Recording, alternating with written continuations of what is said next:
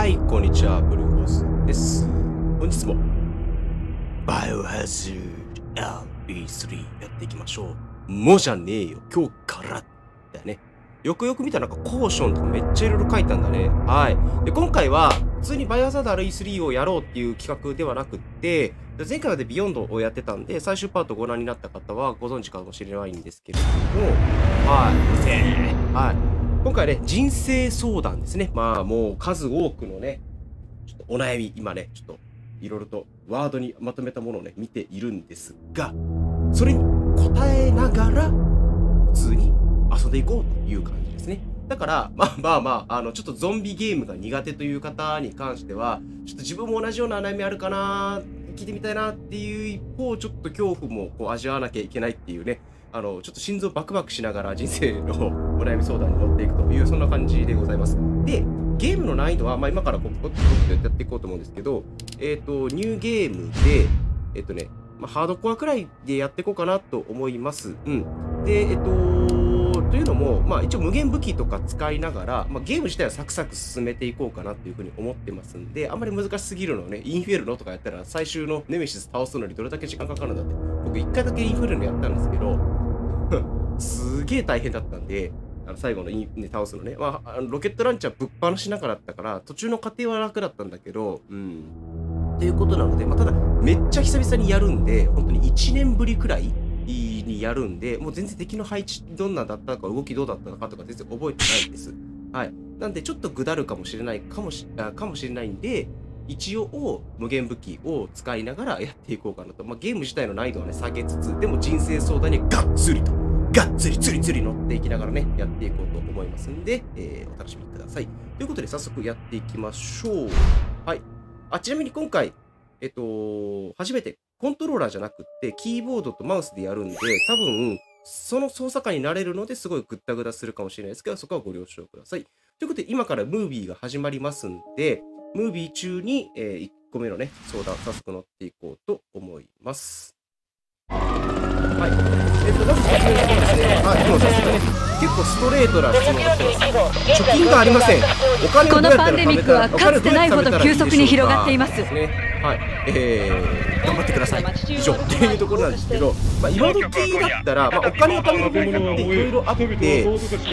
まあ、例えばですけど、一つは、その、投資です、ね。都市全体に緊急事態が宣言ただ、CDC はすでに国の中西部地域を確認それからまあ、えっと、それから何だったっけ？あ、そうそう。生活費を下げるとかって、いろんなその品これこそがまさにアンブレラ社の基礎をなす根本的な価値観なのです。ごめんなさいね。あの、自分が生活をしていくにあたって年間とか月とか日とかでどのくらいのお金がかかるのかとかそしてこの基礎こそが我々人類にとってより明るい未来を作っていくのです。そうしてみたら今の自分の収入と、えー、それから支出を比較した時に、まあ、どのくらいのお金がいるのかっていうのが多分見えてくると思います。例えば、じゃあ手取りが20万の人がいますと。手取り20万で、で、えっと、家賃が、えっと、6万とか、まあ、7万とか使ったら手元に14万とか13万残りますよね。そうすると、使えるお金が13万とか14万になるわけじゃないですか。でそうなった時に、じゃその13万、14万を30日で割ったりすると、まあ、大体 1, 1日あたり、えーとまあ、4000円とか使えるんですかね。でただまあ毎日4000円使いましょうっていうことじゃなくて1週間の中でじゃあかけるしたら大体2万5000円から3万円くらいが使えるとじゃあ、えーと、平日の、えー、コス、コス、あ、平日のコストに関しては下げて、で、休日にちょっと思いっきり使ってみるとかっていうのをやってみると。まあそういう使い方とかを慣れていくと。じゃあそうなった時に切り詰めていって、じゃあ今いるものといらないものってどうなのかなっていうのをこう分けていったりするとそしたら自分が最終的に手元に残せるお金ってどのくらいあってそれが年間に換算してみると何万円あってっていうのを考えてあじゃあこうやって貯めていったらいいんだなっていうのがだいたい見えてくるとでその貯めたお金をじゃあ自分の将来のどんな贅沢に使うのかとかどんな体験に使うのかっていうのを考えていくのがごい大事だと思うので貯金がないっていう人は大体自分がどのくらい稼いでてそれがどのくらいお金が必要なのかっていうのをあんまりねあの考えられてないんじゃないかなっていうふうに思います。うん。だからその辺りの自分の支出がどのくらいいるのかっていうのはきちっとね考えた方がいいんじゃないかなと思いますね。はい。あとはあそうそうそう。あのお金をその貯めるって意味でいくんだったらあの自分のねその固定費下げるっていうのを意識してみるといいと思うんで例えば家賃とか携帯代とか、まあ、食費もある意味その固定費ですよね、うん、とか、えー、まあそんなもんかな、まあ、通信機器のそのあらゆるそのいろいろ登録してるサブスクとか、うん、っていうのをいろいろとこう考えてみるのがすごくいいかと思います。例えばその今もうね大体の人が言ってるんですけど大手キャリアのドコモとか au とかソフトバンクの、ま、月8000円とか9000円とか1万円かかってるような固定費を、まあ、au も、えー、と au UQ モバイルとか楽天モバイルとか LINE もみたいなものに変えることによってえー、大体まあ2000円から3000円くらいになるとそしたら月々5000円6000円浮くわけなんですからじゃあ5000円をかける10にしたら6万円が年間で浮く。6万あったら何できるって言ったらディズニーランド行けますよね大阪とかあの九州に住んでる人とかでもあのねちょえっと、東京ラン、えっと、東京のランドホテルとかは難しいけど、ランドとかミラコスタはね、でもオフィシャルホテルくらいだったら余裕で泊まれるようになると思うんで、うんまあ、そんな風にね、していってもらったらいいんじゃないかなと思いますけどね。はい。結構ボタンがシビアだ。うん。ということで、まずはだから自分の収入と支出をきちっと捉える。で、かつ、うん、自分がどのくらい人生を生きていく上にお金がいるのかっていうことを考える。まあ、自分がどのくらいお金を使うのかってことですね。僕、ざっくり計算すると、と嫁の収入と合わせてっていうのを考えたら、だいたい、えっ、ー、と、自分が100歳まで生きることを計算したら2億くらいいるなっていうのが分かったんで、じゃあ2億以上を、あの、稼いだとしたら、あの、それ以上は、余剰利益になるんで、あの、自分が人生楽しむものにどんどん使っていったらいいかなっていうそんな感じですね。はい。誰だろう？ということで、今からちょっとまたムービーになりますんで、次の質問読んでいきましょう。はい。じゃあ続いて2つ目。えっ、ー、と、食べたら食べる分だけ取る体質をどうにかしたい。ブラートどうしたの？で、えー、なんかいい方法はありませんか？何があったの、ね、なるほど。食べたら食べた分だけ取る。これね、この悩みね、すっげえわかる。僕の割と取りやすい体質なんですよ。食べたら食べた分だけ、特にお腹に現れやすいんですよね。なんかぽっこりするんで。でこれに関しては、いろいろあってえっと、まず体質を変えるっていう話をすると運動しましょうっていうとこですねあだから新陳代謝を上げていかないとだから同じカロリーを摂取したとしてもそれをどれくらい体が早く処理をしてくれるのかっていうのが結構変わってくるところになりますのでこんな格ついてたっけなこのゲーム。うんそうそう。なのでまずはその体質を変えるためには運動しなきゃいけないっていうのがすごい大事になってきます、うん、で、えーと、どういう運動をしたらいいのかっていうところなんですけど基本的にはまあその何でもいいです。あの1日30分程度の運動だったらあの、まあ、ランニングよりはウォーキングをした方がいいですね。うん。でプラスアルファで、えーと、一体何が？あそうそうそうそうえーと嘘でしょ。筋トレの中でもあのヒートっていう、まあ、ちょっと激しい有酸素運動みたいなものをする、まあ、大体3分から6分くらいで終わるようなメニューをなんか YouTube とか調べたら結構出てくるんで、まあ、そんなもので、毎日朝起きた時とかにやるのがいいです。逆に夜寝る前にやっちゃうと体がほてってしまって睡眠よろしくなくなってしまうからできれば朝起きる時にやって体を活性化させるっていうタイミングがあるんですね。そうするとあの体がその新陳代謝を上げるための活動をするようにあの仕向けられるようになって、えー、ぜひやってみてください。であともう一つはねあの食事変えてみてください。あのローファットって言って、まあ、まあ、ローファットとかねケトとかいろいろあるんだけどもそれはどっちかっていうと筋トレをする人向けのメニューにあるんでだからあのもう大丈夫。えっとあなんだろう。あそうそうそうそう。あのねカロリーを計算してみて。カロリーを意識して食事をするようにする。どうしてもそのの食べたら食べた分だけ太っちゃう体質っていうので体質改善一生懸命やったけどそれでも太るっていう人は明らかにあのカロリーオーバーになってしまうっていうのが原因になるので自分が普段食べているものの中で脂質の質が多すぎないか要は白米食いすぎてないかとか砂糖あの脂っこいものだから唐揚げとかコロッケみたいなもの食べ過ぎてないかとかでそういうのを注意してみてください。例えばですけどすき家とかあの吉野家みたいな牛丼ってあれ1杯食べるとなんかもうなんか7800キロカロリーからええあの大盛りとか特盛り食ったら1500キロくらいカロリーいくんですよ。で男性の場合だと2500キロカロリーで女性の場合だと2000キロカロリーくらいが大体1日に摂取した方がいいカロリー量らしいんですけど、まあ、それを超えてしまうとあい。つ何なの？通常その人間に備わってい。るただスターズの生き残り二人を消しにかかってるのは確かだ君と俺をな超えてしまってここから逃げないと。当然ながら街を見てみろここにいたらもっとヤバい目に遭うぞ。に3000とか2500か食ったらそのオーバーした分が死亡になってブクブクブクブクいつの間にこんな状況にしまうっていう話それもわからんでだが悪いことっていうのは重なる。もんだからな結結局アクレと同じありさまだでで自分のあのカロリーが摂取カロリーに比べて多いか少ないかっていうのをあのきちんと調べてくれ。るっていうのがすごい大事。になっていきます言っちまったこれ現実なの？こんなに大勢感染するなんて。はい。じゃあ続いてえっ、ー、ともうブラッド気をつけて。C になるんで。やばいやばいやばいこっちだ。こっちだ。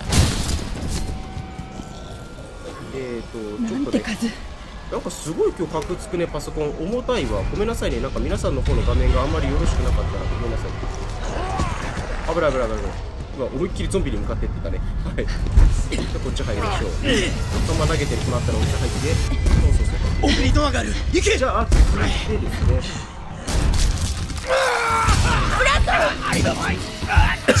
じゃあ次3つ目いきましょう、はい、えー今の会社で働き始めて、えー、と大体3か月くらいが経ちました。一緒に今更知ったのですがボーナスがないという会社なので仕事をしているとモチベーションが全然上がりません。えーもちろんよ。それボーナス頼む俺みたいにしくじるな行けまあ、そもそもボーナスがあるかないかって多分入社時点で分かってたんじゃないですかね。それを承知の上で入社したんじゃないのかな。違うのかな、うん、だとすると、あのごめんなさい。きついことを言うと自分のせいじゃねっていうのがまず一つ言えることなんですがどうですかね。はい。第一ブランドがちょっとなんか次のパートから変えよう。あちょちょっとめっちゃ引っかかってるうん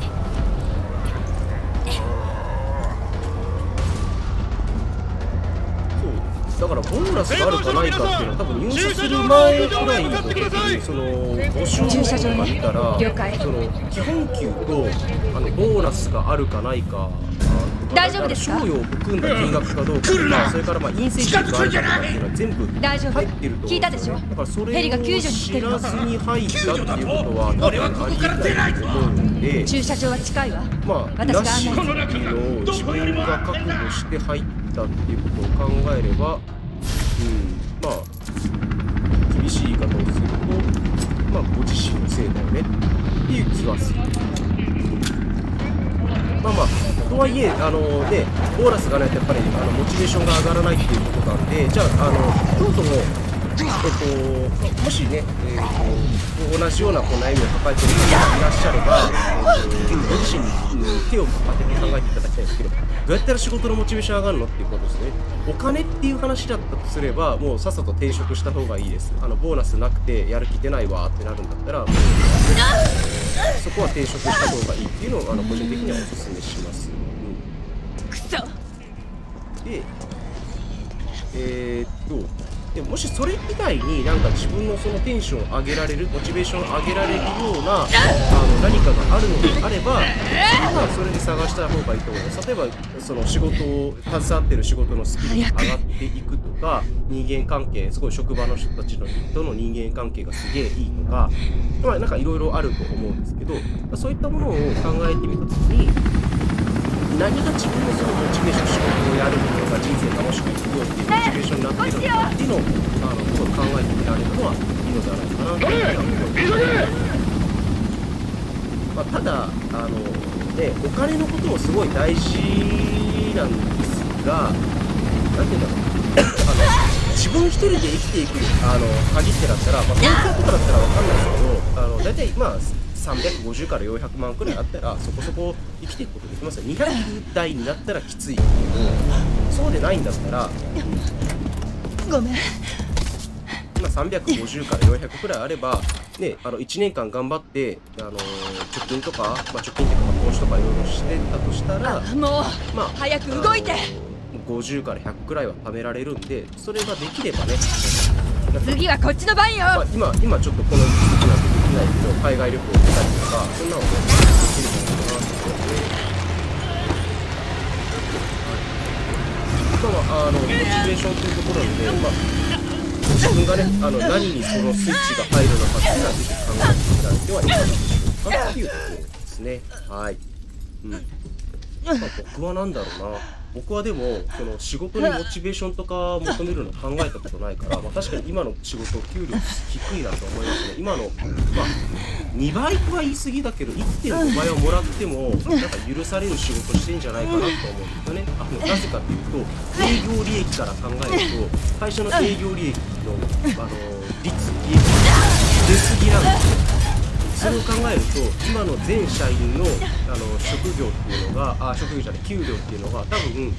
200万ずつくらい1人ずつ上がったとしても多分営業利益としては、まあ、何パーセントって具体的に言うとね算出できちゃうんで言わないですけど多分会社が生き残っていくには十分なあの資金が残ると思います。そういう意味ではね、給料低いなと思うけど、別にそこがね、あるから。おいしかしろ別に自もう分で違大丈夫うだあなた誰？ここで何を？カルロスだ助けに来た。まあ、そこはどうでもいいから。まずは安全な場所へ。になると、どうだろうな、今だったらお客さんのために頑張って、まあ、これ以上言うと問題なんですけど、うん前職、まあ、一一社目の時はすごいお客者お客さんのこと大好きで、この人たちのために頑張ろうという気持ちは よしもう大丈夫だ。ねだといいけど。この先に生存者を集めてる。このじゃあ先ってそうなるとなんで頑張ってたの？地下鉄の車両をシェルター代わりにしてるんだ。自分が自分で悩み始めていっちゃった。どうしよう。まあまあ安全だ。でもあの仕事頑張るモチベーションっていうのはその仕大丈夫。事そのものにはないけど家顔族ごすぎか頑張ろうっていうのは正直ありますね。よ。し行こかな。はいということでじゃあマジか。えーと次4つ目どこのバカが閉めたんだ。えー悪いが別ルートで行く。とはいよいよ。あなたあの怪物を知ってるの、はい。じゃあ行きましょう。いやえーとあんなやつ初めて見た。年間休日でもゾンビとは違う。120日の明確な意思を今の会社に行動してる入社しましたが好みじゃないか入社2ヶ月目でお断りよ。仕事のあな体制がたに譲る。変わって急に年間休日100日になったのを、えーここまで来たら安心だほしい。俺らはアンブレラのバイオハザード対策部隊これは法律的な話になるから僕なんとも言えないですね。ちょっと冗談でしょ。った方がいいんじゃないですか。あなたたちがこの全てを引き起こした。弁護士に相談するかとかなんかそんな別に信じなくてもいい。ーだがまずは対シェルター策を練ってみてください。そそんなことあるの？えだって20日も減るってさ。行こだってうここだ。あの2ヶ月分23ヶ月分くらいのあの給与が急になくなるっていうようなもんでしょ？それって大問題じゃないですか会社として。やばくない、うん、ちょっと考えにくいとは思うんですけど。だって2ヶ月で体制が変わるって何が起こったの？え人がめちゃくちゃこのレデ辞めちゃったから一人当たりのその工数とかがものすごく増えてこのお前ら働かなきゃなカらないぜっていうお前は彼女の名前すら聞いていないのか。それとも彼女はラクーン市警の特殊救助部隊に所属するエリート隊員なんだ、まあ給与を上げてあげるから確か名前はなんとかバレンタインだだっよな。ったて給料が変わってないのにああよろしく。ジル日数だけが増えるってなったらそれは UBCS 招待長のミハイル・ビクトールだ年間120日で我が隊は市民救助のためにっていう条件で募集をかけているにもかかわらず100日に減った。でも給料上げませんだったらただ働きってことじゃないですか。サービス産この町は完全に分断され孤立している。的にアウトな気はする10万人の市民のまあ全然法律詳しくないし法律勉強しちゃいけないと思ってるいや死ぬんじゃなくゾンビどなぜかというと大学であの政策学部っていう我が隊にも甚大な被害が出ている。えっと6個か7個くらい授業生き残るだけでも1個しか単位取れなかったっていうくらい法律に不向きなご立派なあ雇い主のおかげね。なので、うん、だから、まああのまあ、知り合いに我々としてもあらゆる手を尽くしている。だからその人たちにこの地下鉄を動かすことができれば生存者たちを避難させられるんだな。ね、うん、助けがいる。あとまあ我々だけでは手が足りない。かにそういうのを聞いてみて、まあ、取れるんだったらもしお金が出てなければそのお金を取れるだけのなんか相談とかしてみられるのはいいんじゃないかなというふうには思いますね、力になる。はい、これなかなかちょっと難しい質問市民のために。ねうんあなたたちじゃない。それでいい。まあ、確か大事なのは市ね民。1社目はあり年間がとうジル103日で今125日のじゃあスーパーコップ仕さん。事をしてるんですけど追っていきな。やっぱりこれで連絡が違うだけでね全然違うね。無線ぐらい知ってうんる、お盆もす、まあ、お盆と年末年始の,、まず大事なこと休暇日数は、まえっ、と地上界に上がれ。お盆が3日。そこにあ彼るら4日で、分かった、えーそれからえっと、なんだったっけ？あ、そうそう。で、年末年始が7日、まあ、あの、年によってはその土日かぶったら9日とかあるんですけど、まあ、それはあんま変わらないかなっていう気はするんですけど、まあ、それはいいとして、うん、でもやっぱりね、普段のその平日今向かってる。とか休日の、ね、で休みの日数が違うっていうのはやっぱ線路の瓦礫を撤去する。大きい君は地下鉄の運行システムの復旧を。どうすればいい？うん、まず電力を確保してくれ。大通りまで出たら俺が変電所までナビゲートする。了解。シフトで急ぎましょ8日しか休みがなくて、でそれをまあ平日休みやすかったですけどね前職の方が。なぜかってシフトだったから土日に仕事出ることもあるんですよ。まああの某理由があっててあの研修が土日とかにあったりとかするんであの研修に行ってる会社だったんで。なので、えーとまあ、それを考えるとまだだいぶねマシになってたのかなという気はするんですけどね。うん。ちょっと待ってね。アイテムの組み合わせをしよう。違う違う。違う違う違う、調べないよ。わー、なんか全然ね、操作、これでやったことがないから、すごい不慣れかな。うん。ということで、まあ、これを預けていきましょう。うん。そうそう。なんかだいぶしんどかったですよ。で、しかも、あの、お客さんが、まあ、今も中小企業が相手なんですけど、まあ、土日に研修があるっていうことは、その、えっとね、社員どうしたらいいとか、様子どうとかっていう風に、あの、やっぱり聞いてくるお客さんの問い合わせとかもあったんで、えっと、結構、その、うん、普通に土日に問い合わせ、電話とかの問い合わせがあって、出なかったらめちゃめちゃブチ切れられるっていうこともあったんで、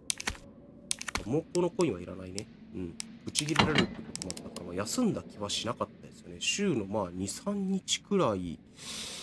うん、まあ、あ週じゃねえ、月で2、3日休めたらよかったと思えるっていう、そんなレベルだったと思いますね。というところかな。はい。ということでね、えっ、と、まあちょっとキリのいいセーブポイントまで来ましたんで、なんかちょっとすごいゲームがカクつくんですけど、こんなもんだったかなはい。まあちょっと気になるところではあるんですけれども、一旦ね、ここで終了していきたいと思います。ね、ほら、見て、最後にやったのが、2020年の、えー、と、最新が6月、じゃあ4月25日だもう1年以上やってないっていうことになりますからね。はい。そんなこんなでね、えこのパートで一旦区切りたいと思います。最後までご視聴いただきまして、どうもありがとうございました。また次回のパートでお会いしましょう。バイバーイ。